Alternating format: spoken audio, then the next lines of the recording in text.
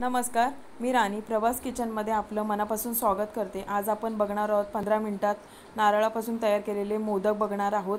त्याच्यासाठी लागणारं साहित्य मी इथे घेतलं आहे बघू शकता तीन वाट्या खव घेतला आहे नारळाचा.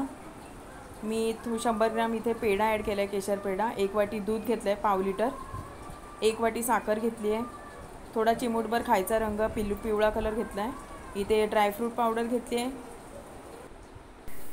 आता आपल्याला पुढचे साहित्य बघायचं आहे. आता आपण कढईमध्ये आपण जे दूध घेतलं होतं ते आपल्याला ह्याच्यामध्ये ॲड करायचं आहे आता आपण दूध घालून घ्यायचं आहे कढईमध्ये.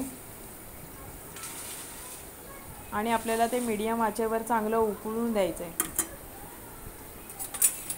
चांगलं गरम व्हायला ठेवायचं आहे ते आपल्याला. गॅस जरा मीडियम करायचा आहे आपल्याला. मीडियम फ्लेमवर ठेवायचं आहे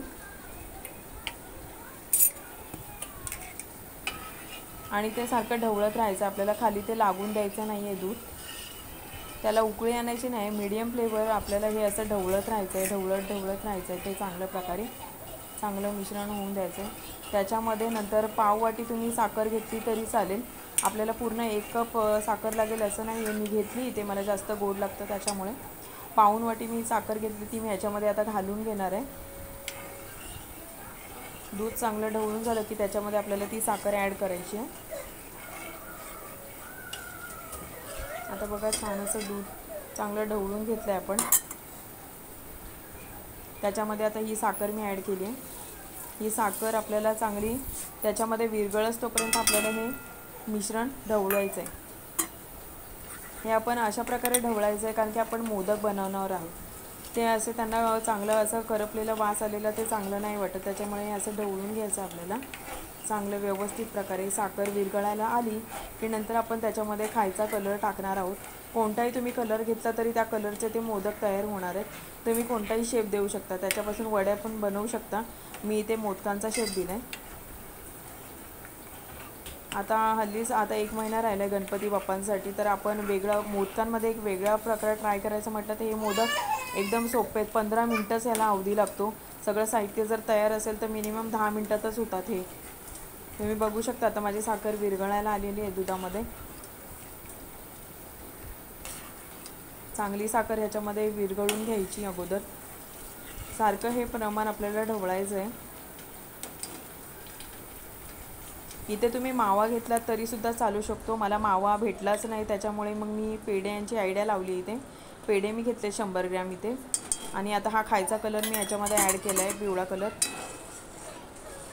चांगला कलर येऊन द्यायचा आहे.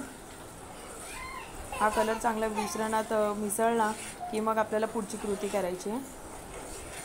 कलर चांगला झाला पाहिजे. त्याच्या गुटाळ्या झाल्या नाही पाहिजेत दुधामध्ये. हे ढवळून घ्यायचं आहे आपल्याला चांगल्या प्रकारे. दूध खाली लागता का म्हणे थोडंसं आटलं तरी चालतं कारण की आपल्याला दूध आणि हे सगळं साहित्य जे जिन्नस आपण टाकणार आहोत ते नंतर आटवूनच घ्यायचे आहेत आपल्याला. बघा आता हे चांगल्या प्रकारे माझं ढवळून झालं आहे मस्तपैकी त्याचा स्वाद पण येतो आहे हे अशा प्रकारे आपल्याला ढवळून घ्यायचं आहे ढवळून झालं आहे आपलं. आता जे मी पेढे घेतलेत तुम्ही मावासुद्धा घेऊ शकता मी तुम्हाला अगोदरच सांगितलं आहे तर हे त्याच्यामध्ये टाकून घ्यायचं आहेत आपल्याला. आणि ते चांगल्या प्रकारे मिश्रण हलवायचं आहे पेढ्यांचे तुकडे दिसता कामा नये ते चांगले त्या मिश्रणात मिक्सअप झाले पाहिजेत. तरच तुम्हाला त्या मोदकांचा स्वाद व्यवस्थित प्रकारे येईल. आपण जर मनापासून कोणताही पदार्थ केला तर तो हमखास चांगलाच होतो.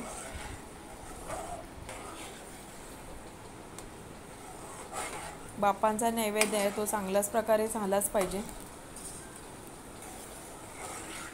आता हे मिश्रण मी चांगलं ढवळून घेते त्याच्यामध्ये जे मी ॲड केलेलं आहे पेढा तो चांगल्या प्रकारे असा व्यवस्थित त्याच्यामध्ये कालवला गेला पाहिजे मिश्रण. एक मिनटं लागला आहे मला इथे हे सगळं करायला.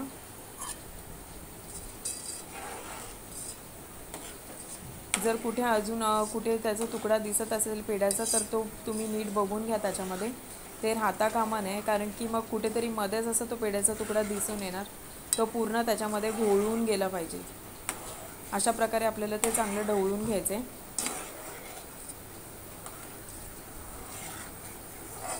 हे असं आपल्याला चांगलं मीडियम फ्लेमवरच करायचं. आपल्याला जास्त घाई करायची नाही आहे आता माझ्या मिश्रणामध्ये हा पेढा चांगला मिक्सअप झालेला आहे.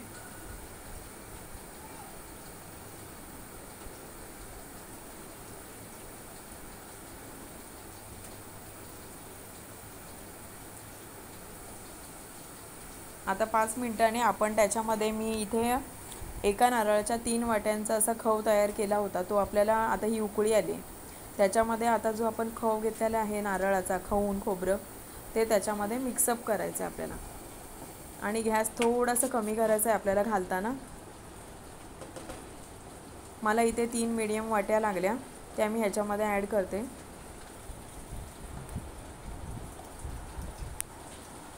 आता मी ह्याच्यामध्ये ते खव घालून घेतलेलं आहे. तर आपल्याला हे मिश्रण पूर्ण जोपर्यंत ते घट्ट होत नाही तोपर्यंत आपल्याला हे ढवळत राहायचं आहे खाली लागता कामा नाही आपलं मिश्रण. हे ढवळत असताना तुम्ही त्याच्यामध्ये थोडं दोन एक चमचा तूप घातलं तरी पण चालेल. ह्याच्यामध्ये तुम्ही तूप घातलं तरी चालेल. मी इथे नाही केलेलं आहे.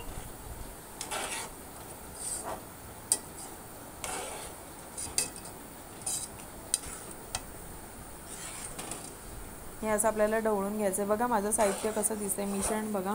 त्याला एक मस्तपैकी कलर आलेला आहे. आपण त्याच्यामध्ये खायचा कलर पण टाकला होता. आणि माझ्या पेड्यांचा कलर पण हुबेहूब तसाच होता. त्याच्यामुळे कलर जास्त मला लागणार नाही आणि तुम्ही पण वापरायचं नाही आहे चिमूट भरच कलर आपल्याला इथे घ्यायचं त्याच्यापेक्षा जास्त घ्यायचं नाही आहे तुम्ही कोणताही घेऊ शकता. मी इथे येल्लो कलर घेतला आहे बघा हे मिश्रण कसं झालं आहे ढवळून ढवळून हे असं झालं पाहिजे. आणि आणखी त्याच्यामध्ये मॉइश्चरायझर म्हणजे ओलसरपणा राहता कामा नये तरच आपले ते मोदक बनून तयार होतात. जर त्याच्यामध्ये असं पाणीसारखं राहिलं ओलसरपणा जर राहिलं तर ते मोदक तयार होणार नाहीत हे आपल्याला चांगल्या प्रकारे चांगल्या प्रकारे असं ढवळून ढवळून ढवळून घ्यायचं आपल्याला मस्तपैकी. त्याचा असं वाद वाद सुटला पाहिजे. आणि मी साखरेमध्येच वेलची पावडर पिसून टाकली होती. त्याच्यामुळे वेलची टाकायला तुम्ही विसरायचं नाही. वेलची टाकू शकता जायफळ टाकू शकता. आणि लास्टला आपल्याला ड्रायफ्रूट पावडर पण ह्याच्यामध्ये ॲड करून घ्यायची. तुम्ही नंतर सजावटीसाठी सुद्धा घालू शकता आणि ह्याच्यात मिक्सअपसुद्धा करू शकता. बघा आता माझं मिश्रण सुकत आलेलं आहे. आता मी ह्याच्यामध्ये ड्रायफ्रूट पावडर घालून घेतली त्याच्यातच मी थोडंसं वेलची पूड आणि जायफळ पूड टाकून घेतलेली आहे. वास पण खूप छान सुटलेला आहे मोदकांचा. मला असं वाटतं की नक्कीच आज मी हे जे ट्राय केलेत मोदक ते नक्कीच बाप्पांपर्यंत पोचतील